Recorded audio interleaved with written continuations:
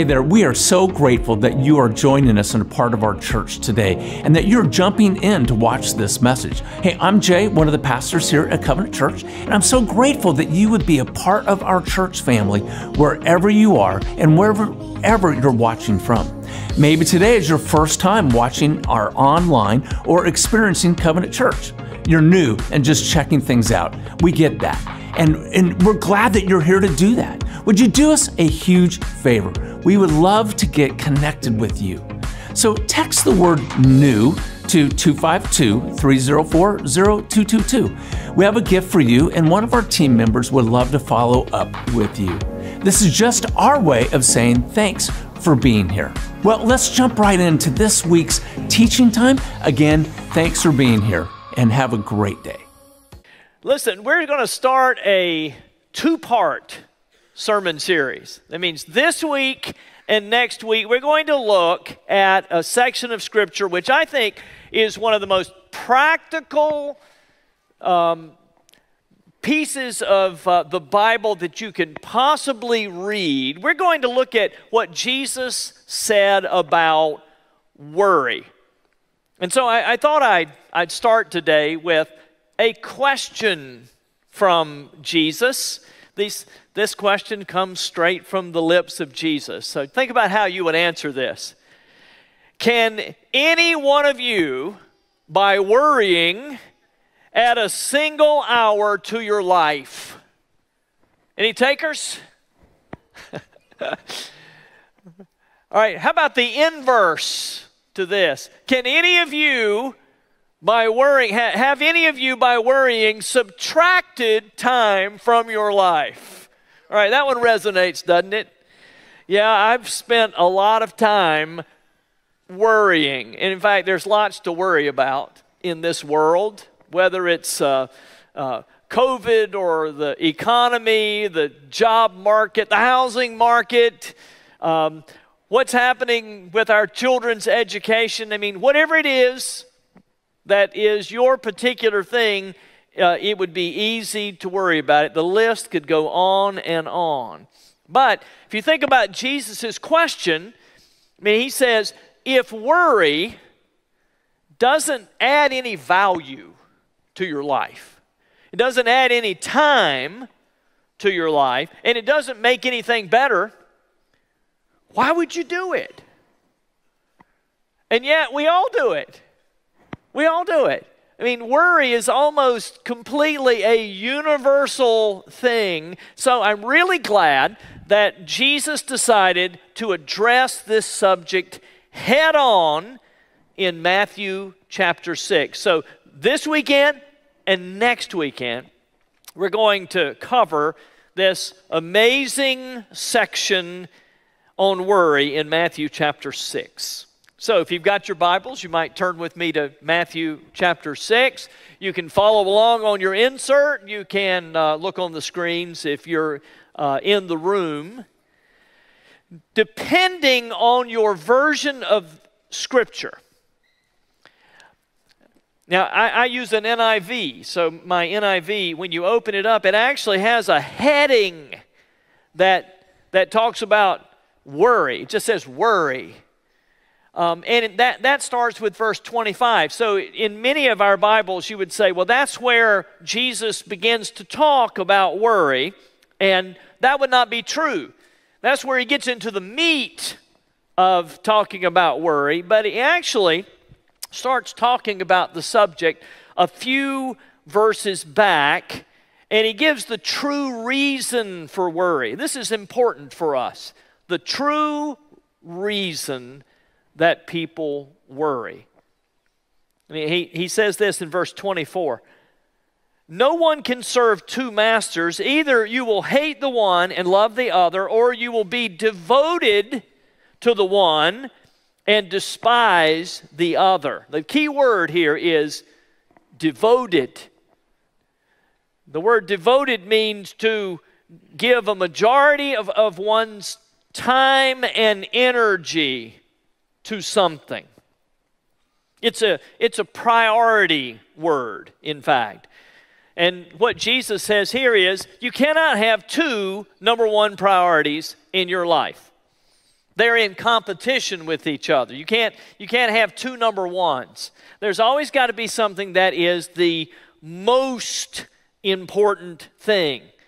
So he says, you can't be devoted to God and devoted to something else at the same time. And so this is the spiritual principle that will take us through really both weeks, but especially as we're talking the first part of Matthew chapter 6 today. And it's this if there is something that is that you are more devoted to than God, that's what we'll tend to worry about.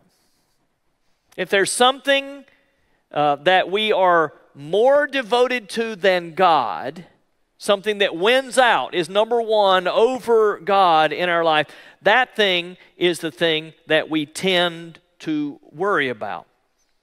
Now, having said that, the rest of that verse becomes pretty interesting because Jesus then goes right to the heart of what most people worry about more than anything else. Guess what it is? he says, You cannot serve both God and money. So you can't be devoted to God, sold out, devoted to God, and your bank account at the same time, or your, your property at the same time, or your retirement funds at the same time, or your stuff. You cannot be devoted to the one. He says, money, those things will compete against God for number one in your life. And I know somebody be going, ah, this is a this is a sermon about money. Well, for some of you it is. It is a sermon about money because that's what you're most devoted to. Or maybe it's a sermon about your health because that's the thing you're most devoted to. Or maybe it's a sermon about your whatever right? Whatever it is that you're most devoted to, your, your family, your safety, your relationships, human relationships with, with uh, your friends or your romantic relationships, whatever it is that you're most devoted to, that's the thing that you'll tend to worry about. And Jesus says you can't put anything above your relationship with God. And when you do, that's when you tend to worry. Now, that brings us to the meat of the worry section, which begins with verse 25. And I'm going to read it, but before I do, you'll notice that verse 25 has a therefore, starts with therefore, which means it is connected to the section that we just read. Now, when I was in seminary, this is what we were taught. They said when, when you're reading the Bible and you come to the word therefore, you need to look back and see what the therefore was there for. So there's always something back when you read the therefore. So what was what we what did we just read? Anything you're devoted to more than God, you're going to worry about.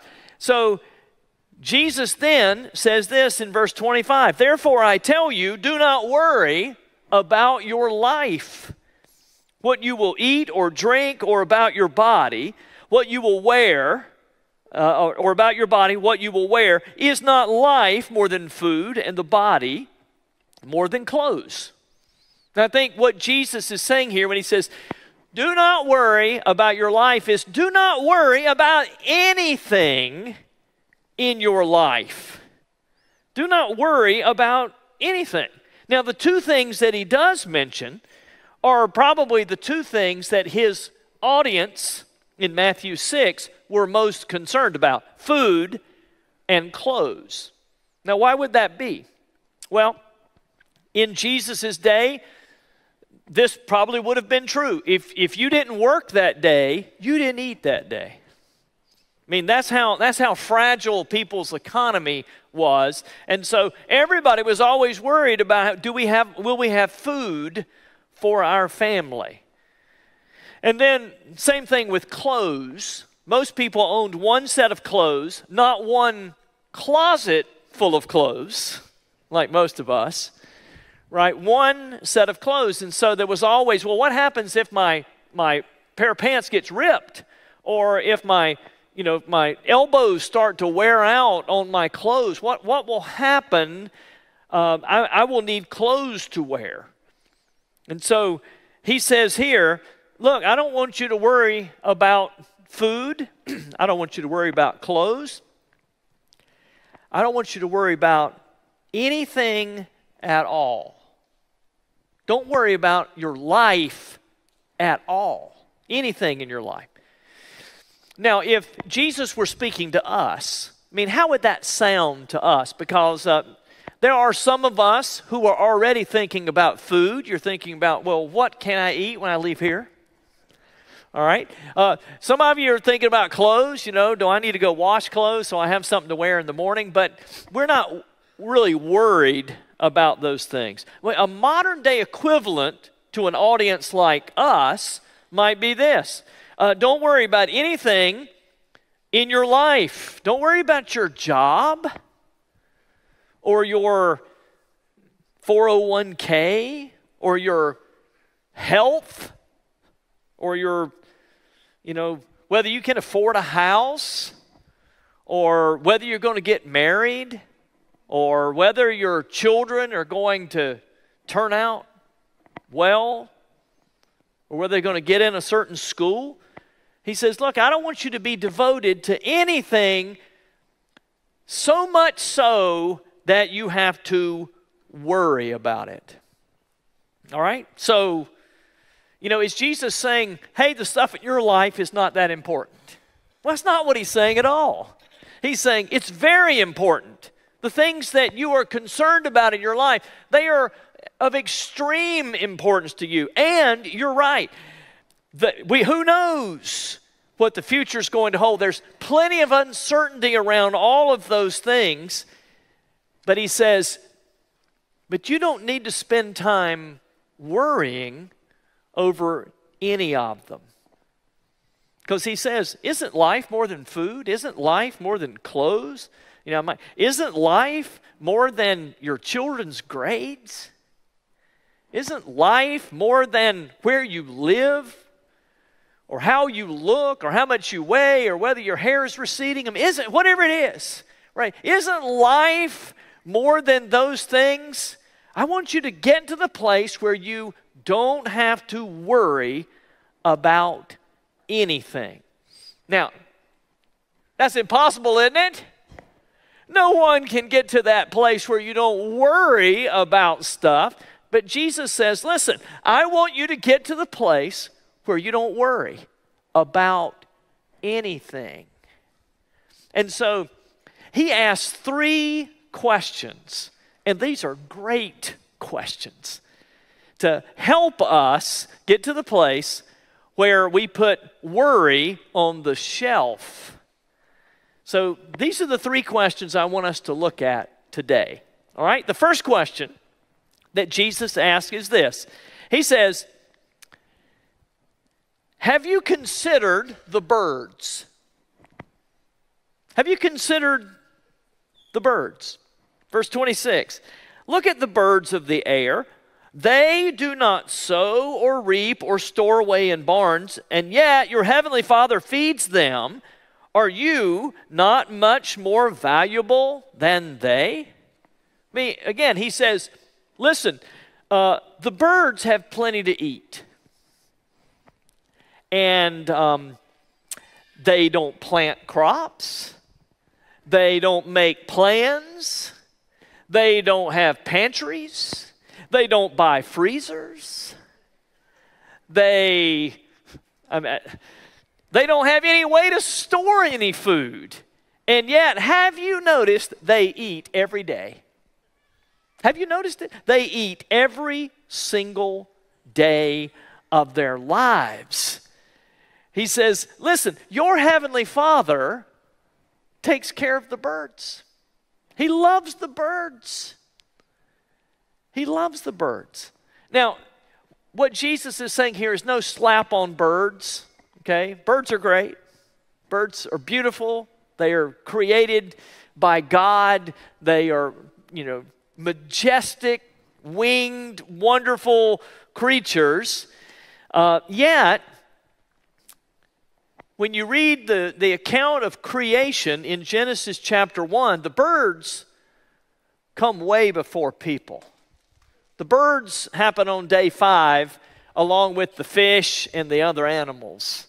But on day six, the Bible says something special happened. God made people who were in his own image. They were different than the animals and the fish and the birds. They were made in the image of God. They are special, they are different.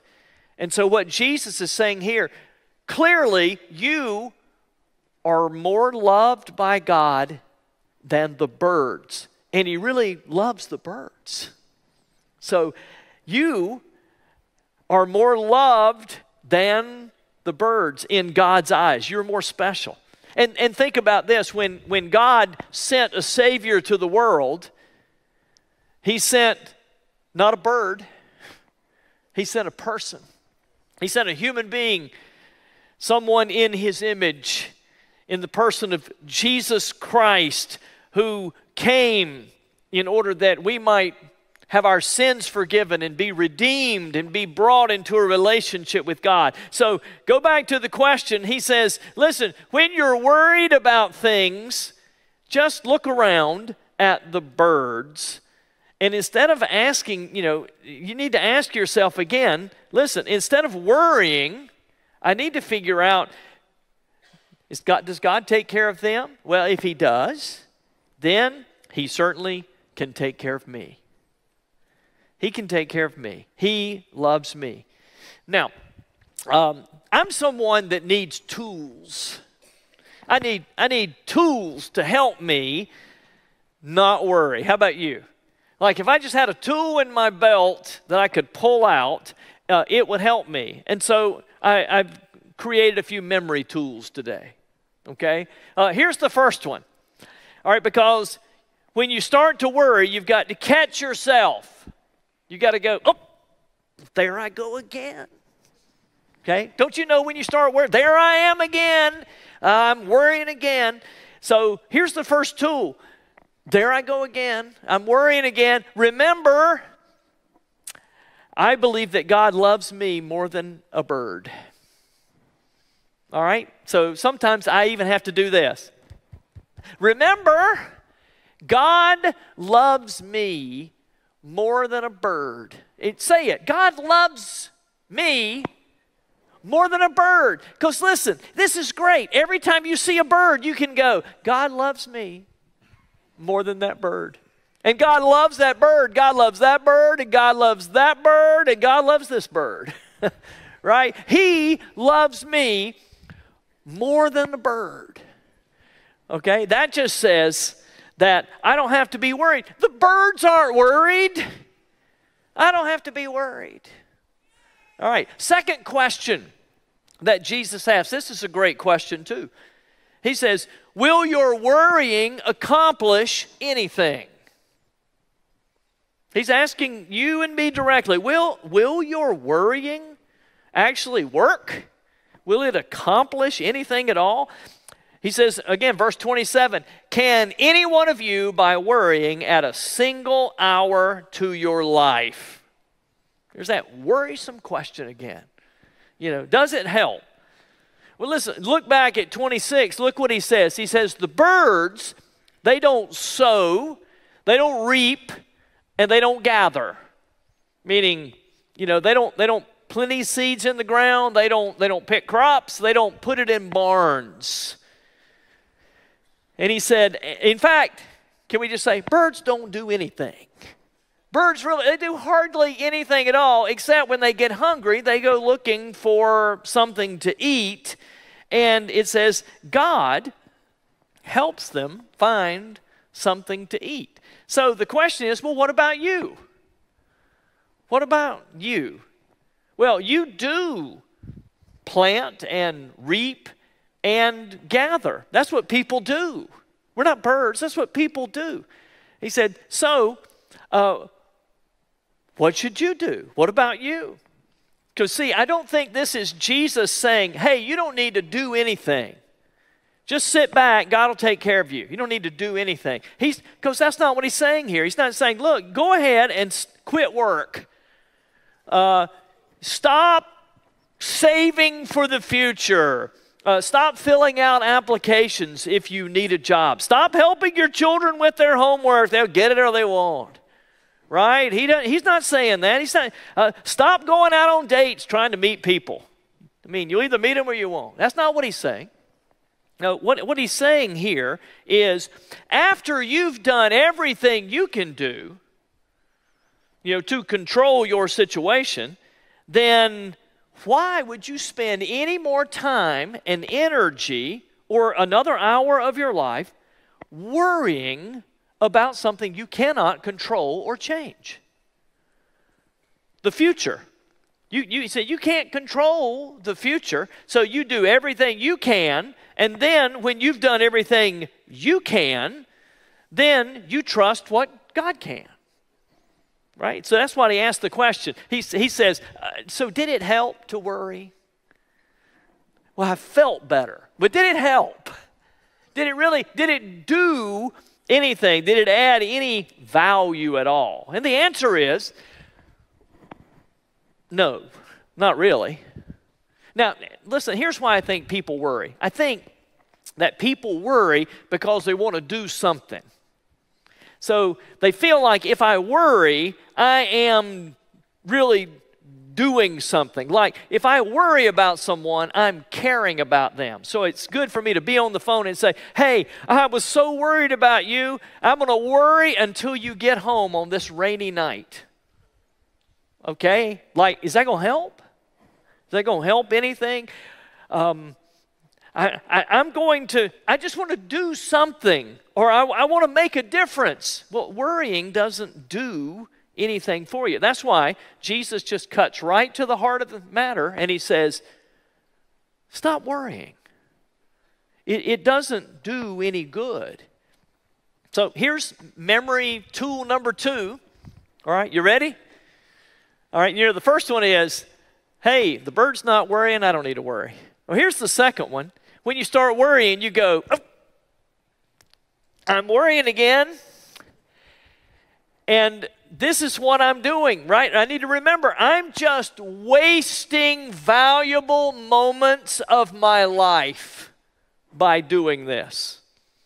I mean, when you're worrying, if you were to stop, think about it, if you were to stop and say, I'm wasting my life.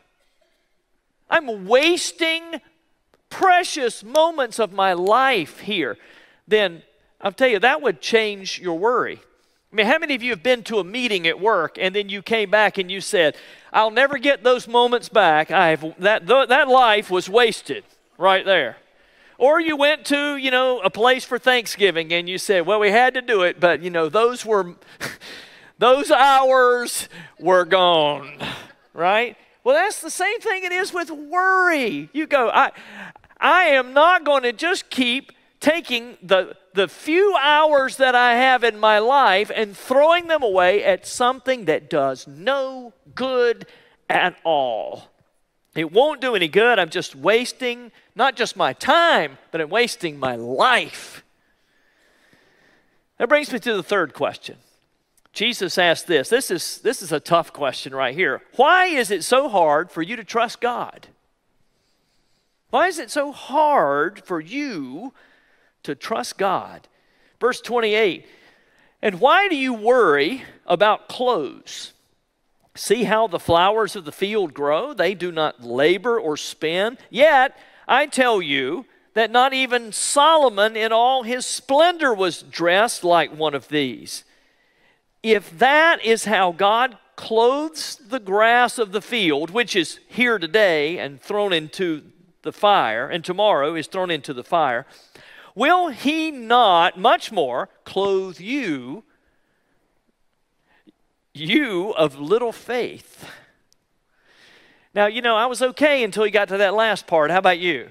You of, oh, you of little faith.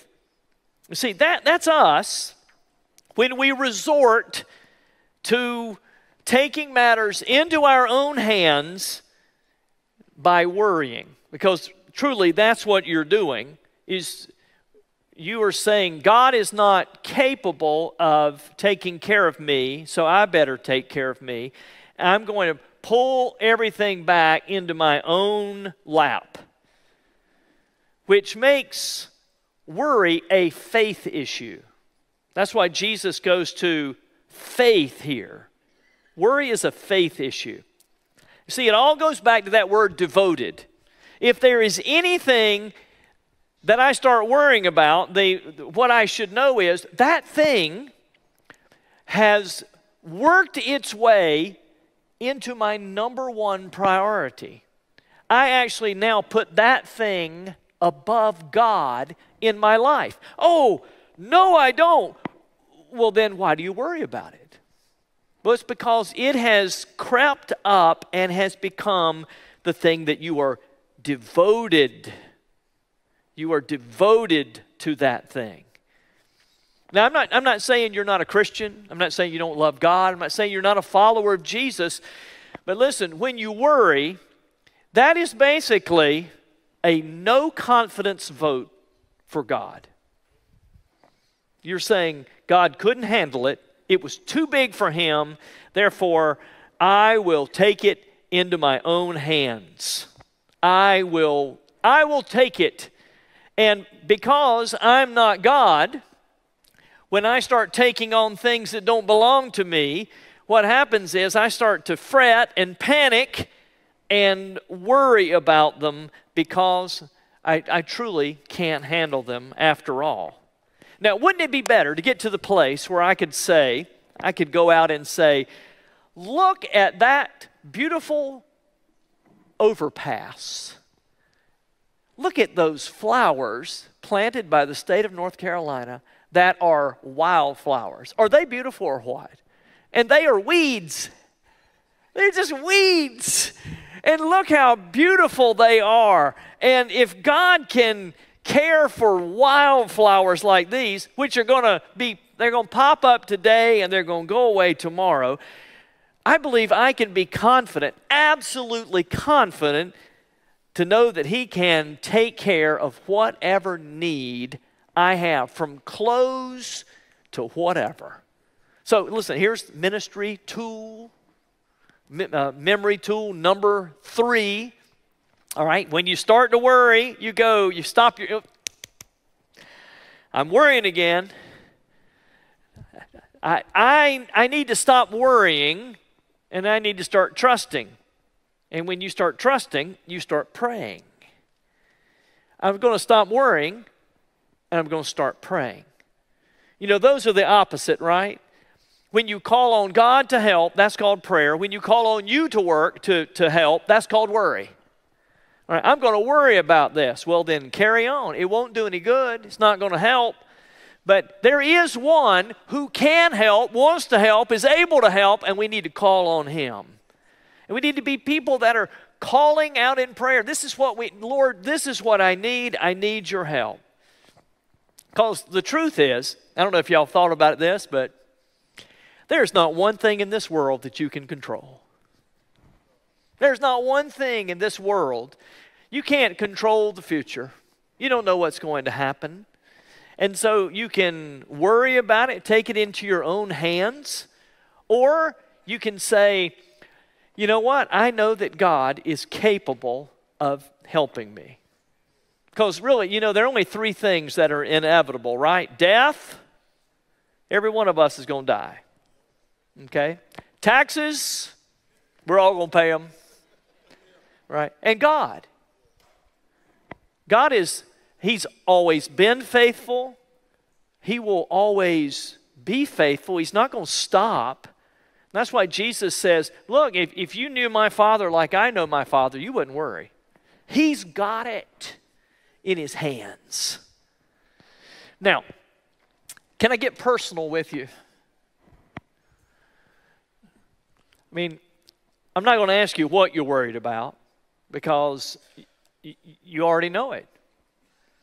You already know the things that just cause you to stay up at night, lay awake at night, things that you are worried about? Well, the truth is, the why is, well, that, that thing has crept up into a priority that it does not deserve. Okay, you're devoted to that thing. That's why you're worried about it.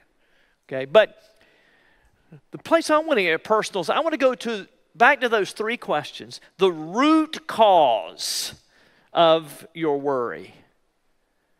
Because th- this is where we need to do the work.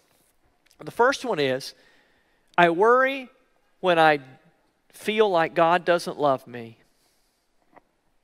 Like God doesn't God doesn't care about me. He doesn't love me. He doesn't think that I'm special. He doesn't think I'm of, of worth. And none of that is true about any of us. We know how much He loved us because He sent His one and only Son to die for us, to restore the image in which He created us, that we might be children of God. You know, when you accept Jesus Christ, we start walking with Christ, something amazing happens. Uh, you become not just saved, you become a child of the living God, which is why I love what Jesus says here. Don't you know that your heavenly Father cares about the birds? You see, He's not just God out there somewhere, He is your heavenly Father, and you are His children, and He loves you. You know, faith in Christ does that for us. John said it in John chapter 1 Yet to all who did receive Him, to those who believed in his name, he gave the right to become children of God. Children born not of natural descent, meaning, you know, not, not born from your parents, or of a human decision, or of a husband's will, but born of God. We've been born again, and now God takes responsibility for us, and He loves us. And the ones He loves don't need to worry. You know, the second, second question really is a good question for us too, I think, because for some of us, we haven't done everything we could do about our situation. And that means that, that we, uh, we procrastinated or we were, um, or, or we were lazy. We didn't do everything that we could do. And then when we didn't do what we were supposed to do, then we started blaming God. All right, we started saying, okay, I, well, I should have done this, but I didn't do it, so it's, it's God's fault. See, that, that means worry is the lazy person's drug. That means you didn't do what you should have done first. So now, the only thing you've got left is worry. And instead of worrying, you ought to get up and do something. Some of us today know there's some things we should have done. We can still do them, all right, rather than worry about them. And then, then the last one, uh, some of us are, are, not really sure, are not really sure that God will take care of us or that He wants to take care of us. And so we, we like depending on ourselves. We, we like doing things our own way, depending on us. And when that fails, there's nothing left to do except worry. See, I can't, I'm not God, so I can't take care of my own needs. And I can't help my family the way I need them to. So all I've got left is worry. When Jesus says, Look at the flowers, they're not worried. And do they not, are they not awesome looking? Do they not have everything they need? Uh, he can, He will, he wants to take care of our needs. So Jesus comes back and he says, So, can you add an hour to your time by worrying? Well, if you can't, then why do it?